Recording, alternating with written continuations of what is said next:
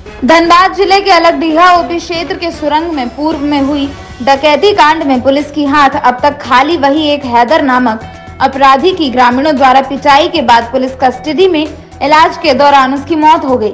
वहीं आज गुरुवार को मृतक हैदर के परिजनों ने प्रेस कॉन्फ्रेंस कर पुलिस पर आरोप लगाते हुए कहा कि हैदर को पुलिस ने मार दिया।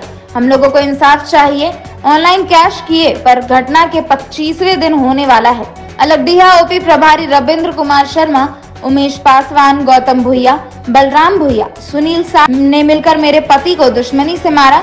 मेरे छोटे छोटे बच्चे हैं, मेरे अलावा पाँच बच्चे की जीवन यापन कैसे होगा? डॉक्टर ने बताया कि हैदर को अंदरूनी चोट लगी थी, तीन बजे गिरफ़्तार किया गया, नौ बजे प्रसाद क्लिनिक में भर्ती कराया तो पुलिस ने छह घंटे तक वहाँ रखा, जिससे पुलिस के ऊपर कोई संदेह होता है। तो पहले उपचार करवाना चाहिए था। अन्य दोषियों को कड़ी सजा नहीं मिली तो कोई दूसरा हैदर बन सकता है। हमारे पास छोटे छोटे बच्चे का पालन पोषण कैसे होगा? ऐसे में न्याय की गुहार लगा रही हैं। सर, हैदर अली के मामले में है तो मतलब हैदर अली का, उसकी पत्नी मेरी बहन है, वो मेरा बहन जमाई है, और हम लोग इंसाफ के लिए मीडिया के सामने आए हैं। और चाहते हैं कि इंसाफ मिले हम लोग का आपके द्वारा आप लोग के द्वारा इंसाफ मिले। क्या आरोप क्या है? आरोप है सर कि इन लोगों को लापरवाही से मारा गया है। कौन लोग का लापरवाही से? पहला है सर थाना प्रभारी रविंद्र कुमार शर्मा। सर दूसरा है उमेश पासवान। तीसरा है गौतम भुइया। चौथा है बलराम भुइया। और पांचवा है अशोक भुइया। कौन थाना का प्रभारी है वो? अलग डिहा थाना सर। तो आप लोग का क्या आरोप है इन लोगों पर? आरोप है कि सर लापरवाही से मारा गया है। कोई मुजरिम हो या चोर हो कुछ भी हो सर कोई माँ के कोख से सीख के नहीं आता। हालात या मजबूरी सबको किसी को क्या बनाया किसी को क्या बनाया सर? तो मान लीजिए ठीक है ये डकैती करने गया चोरी करने गया तो इसका अधिकार क्या? अगर ठीक है ग्रामीण अगर पकड़ा है तो ये तो थाना के सुपुर्द किया गया। थाना के सुपुर्द किया गया तो थाना का भी हक नहीं है। प्रशासन को भी हक नहीं है कि उसको सज़ा दे। सज़ा देने का हक सिर्फ़ न्यायालय को है। और बस हम लोग यही चाहते हैं सर कि आप लोग के थ्रू देखिए पाँच बच्चा है इनका। इनका पत्नी और पाँचों बच्चा को न्याय मिले सर। यही चाहते हैं आप लोग के द्वारा न्याय इन लोगों को मिले। तो आपका ये आरोप है ये लोग पाँचों मिलकर षडयंत्र कर इन लोगों को मार दिया लोग को मारा है। इनको मार दिया गया। और हॉस्पिटल का जो टाइमिंग बता रहा सर अलग अलग तरह का जो खबर अभी आ रहा है तो आप लोग खुद भी अगर देख सकते हैं तो देख सकते हैं सर कि झरिया, ये प्रसाद क्लिनिक में ले गया गया तो उसमें वहाँ साफ़ डॉक्टर बोल रहे हैं कि साढ़े नौ बजे एडमिट किया गया, जो कि हालत गंभीर था और हमारे ख्याल से मतलब कि अंदरूनी चोट काफ़ी थी। अंदरूनी चोट काफ़ी थी, जिसके कारण से हम लोगों ने उन्हें मृत घोषित किया है।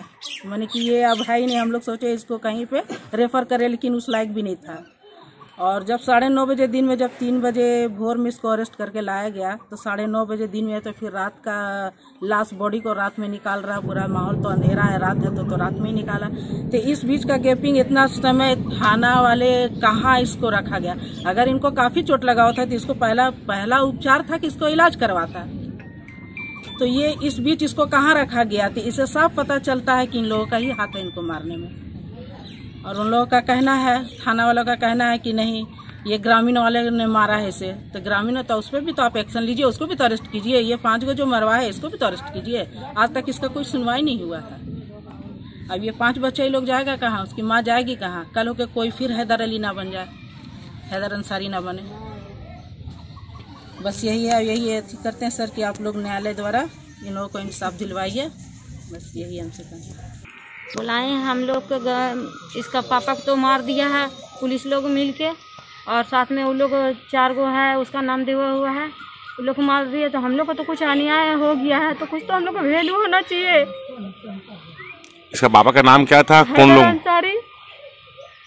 और मारा कौन कौन उसमें नाम लिखा हुआ है सर। नाम नहीं जानते उसका। नहीं सर। आपका चाहते क्या है आप? क्या चाहते हैं? हम लोग को आदमी तो चल गया। कैसे नो था मेरा आदमी है। खिलाना पिलाना तो हम लोग करता था और अभी नहीं है। मेरा बाल बच्चा को उसका बाप है। अब हम लोग का सहारा कौन है? हमको सिर्फ़ इंसाफ मिलना चाहिए। तो आप इंसाफ किससे मांग रहे हैं? जो जो मारा उसके लिए। धनबाद से अजीत सिंह की स्वदेशवाणी के लिए ब्यूरो रिपोर्ट। आप हमारा चैनल देख रहे हैं तो प्लीज़ इस चैनल को लाइक शेयर और सब्सक्राइब ज़रूर करें, ताकि हम आपको देश विदेश तक की खबरों से अपडेट रख सकें।